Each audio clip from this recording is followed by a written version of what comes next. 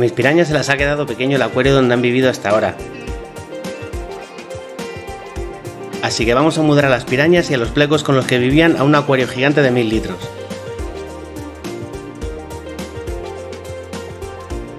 Además lo vamos a plantar con estas cintas naturales que salen sin control en el antiguo acuario. Y por desgracia hay una de las pirañas que tiene una herida enorme. Pero sigue viva y la estoy curando.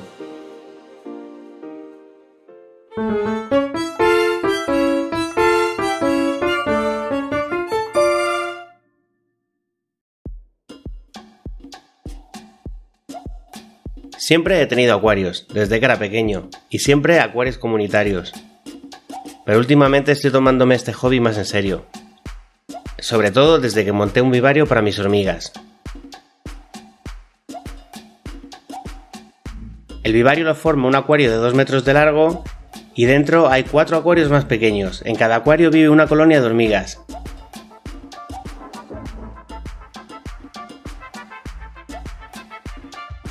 Y en la zona del agua metí pirañas. Hasta ahora las pirañas han sido las encargadas de asegurarse de que ninguna hormiga se escapa.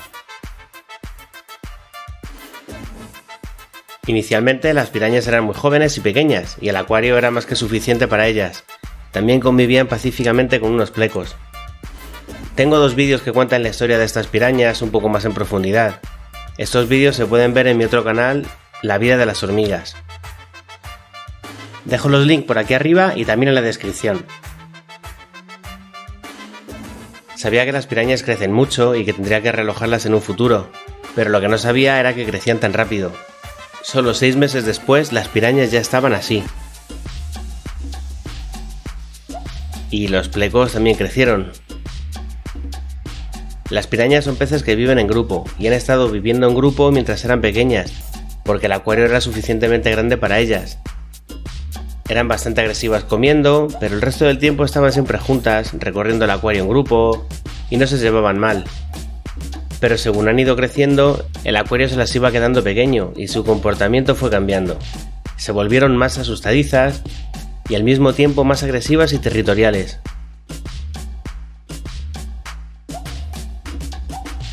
Hasta llegar al punto en el que cada una vive en una zona del acuario,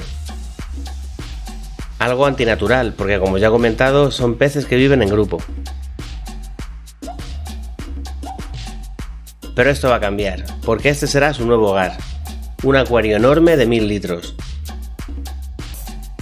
Es un acuario casero, fabricado con tres láminas de cristal y con tirantas para prevenir que los cristales se abomben.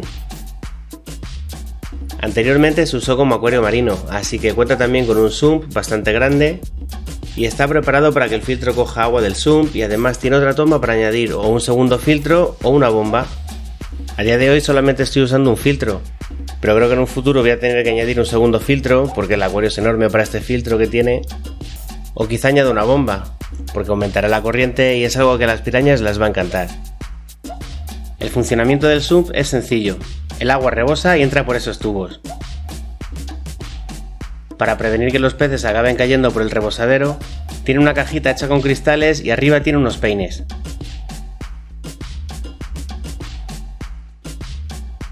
El agua cae por los tubos del rebosadero hasta este otro acuario, donde pasa por un primer filtro de esponja, luego a través de un depósito de biobolas y finalmente pasa por el filtro externo y la devuelve al acuario. La función de las bibolas es alojar colonias de bacterias, y estas bacterias son muy necesarias para el buen estado del agua, ya que eliminan el amoníaco, nitritos y nitratos. El acuario lo he llenado en parte con agua del vivario, para que las bacterias del otro acuario empiecen a vivir también en este. Pero para ayudar a generar una buena colonia de bacterias es mejor usar un bote como este, que suele venir con los filtros o se puede comprar en tiendas de animales. El líquido se añade en el filtro o en mi caso directamente en las biobolas. El acuario está casi listo, pero le falta vegetación, así que vamos al vivario por algunas plantas porque las cintas que tengo allí están salvajes. Y voy a poder sacar suficientes plantas para llenar el nuevo acuario y dejar algunas en el vivario. Es impresionante cómo crecen estas plantas. Se han reproducido muchísimo. Veis que entre planta y planta están unidas por un tallo, Pues así es como esta planta se reproduce. Por algún motivo estas plantas se han dado muy bien en este vivario. Seguro que en parte es porque las pirañas se dejan muchos restos de comida. Pero es impresionante la cantidad de plantas que salen. Y ya he sacado unas cuantas veces plantas para regalar, pero no dejan de nacer más y más. Estas plantas son vallisnerias, o comúnmente conocidas como cintas. Aquí podemos ver cómo se reproducen estas plantas. De una planta comienza a salir un tallo, y cuando el tallo mide unos 10 centímetros, comienzan a salirle un par de hojas. Las hojas se van haciendo más grandes y empiezan a salir raíces. Y así se convierte en una nueva planta. Luego nuevamente de esta planta volverá a salir un tallo y se repite todo el proceso. Bueno, pues este es el matojo de plantas que he sacado del vivario pero hay que prepararlas para introducirlas en el nuevo acuario. Lo que yo hago es quitar los tallos y juntar varias plantas. Los tallos los quito porque flotan mucho y el no tenerlos ayuda a las plantas a agarrarse mejor en la arena. No hay por qué hacer esto, pero muchas se sueltan de la tierra y terminan flotando. Al plantarlas hay que dejarlas un poco enterradas, pero en cuanto las raíces agarren a la tierra ya no se soltarán más. Las plantas, además de decorar, también harán que las pirañas se sientan más seguras, y además ayudan a eliminar el amoníaco, nitratos y nitritos del agua. Y este es el resultado final. Creo que así está bastante mejor.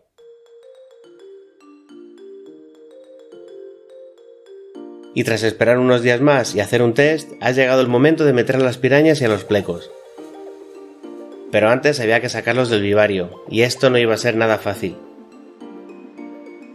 De hecho, esto es lo más cerca que estuve de atrapar a un pleco en los 20 minutos que estuve intentándolo, y a las pirañas no llegué ni a acercarme, porque son rapidísimas. Así que había que pasar al plan B, que consistía en sacar el agua del vivario. Ya sin agua fue más fácil sacar a las 6 pirañas, y aunque inicialmente había 7 plecos, solamente conseguí sacar 4. No sé si me dejaría alguno que no vi, o si simplemente se los han comido las pirañas o se han muerto por otras causas pero de los cuatro plecos que saqué he vuelto a meter uno en el vivario y los otros tres se van para el nuevo acuario.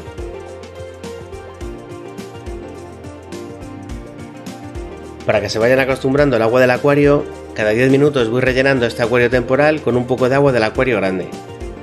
Esto ayudará a los peces a aclimatarse a la temperatura y a los parámetros del agua del nuevo acuario.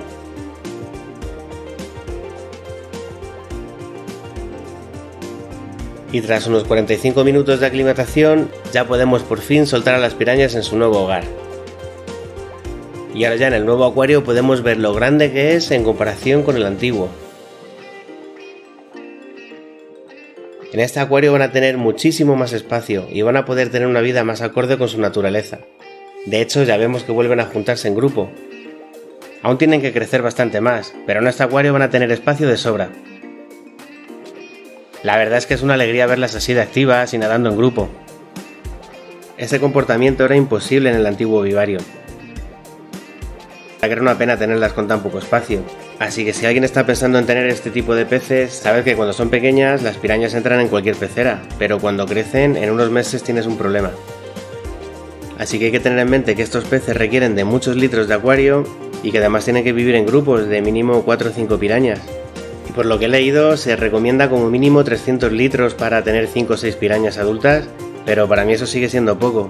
Yo recomendaría un acuario a partir de 500 litros. Pero no todos son buenas noticias. ¿Veis esa herida que tiene una de las pirañas?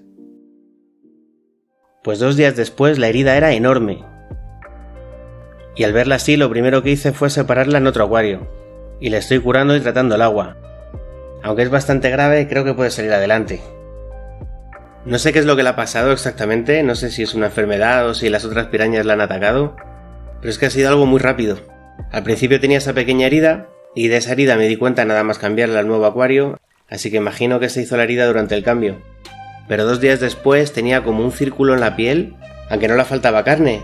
Era como si tuviera la piel de un color más blanco, como si la tuviera desgastada. Y solo un día después ya tenía ese agujero enorme. Así que quizá lo del principio de la piel fue una enfermedad pero yo creo que el agujero se le han hecho las otras pirañas. La verdad que da miedo ver la herida, pobrecilla. La estoy tratando con un antibiótico y si finalmente sale adelante lo mostraré en un vídeo explicando cómo han sido las curas y todo el proceso. El resto están perfectamente, las miro a diario buscando heridas pero no tienen nada. Y en cuanto al vivario, ahora que se ha quedado vacío, voy a intentar criar guppies. Pero eso lo veremos más adelante. Así que suscríbete para no perdértelo y para seguir el proceso de estas pirañas. Y si te ha gustado el vídeo, no olvides dejar un like.